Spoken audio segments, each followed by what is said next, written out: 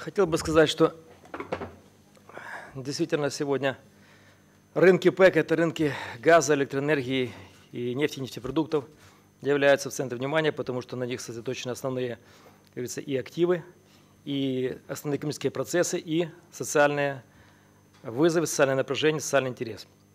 Э, презентация подготовлена на украинском языке, потому я не буду заниматься синхронным переводом на русский.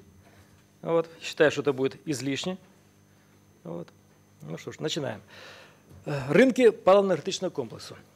Як вже сказано, е, паливно-енергетичний комплекс в нашій країні можна розподілити умовно на три такі глобальні сфери: це ринки електричної енергії, ринки природного газу,